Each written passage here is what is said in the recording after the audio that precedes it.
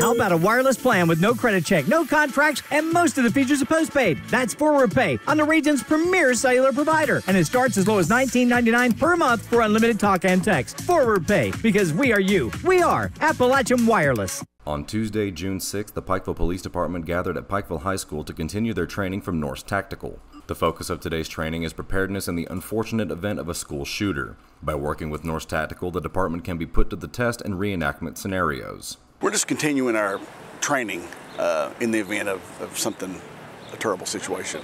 Uh, hopefully, prayers that we won't have to do, have to use this training. But uh, Norse has came in uh, again. We went through Norse training uh, a few months back.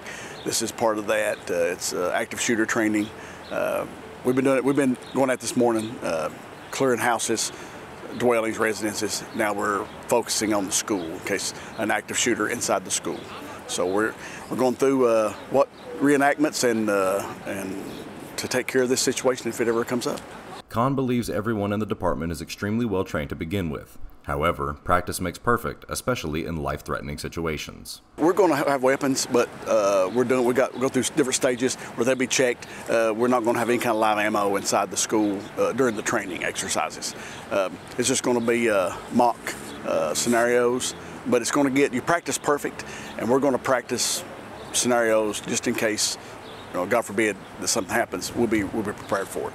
I think we're prepared, uh, us and fire department, to handle situations, but there's never ever a time where you have too much training. So we brought individuals in that are going to uh, point out what we need to improve on, or point out what we're doing great with.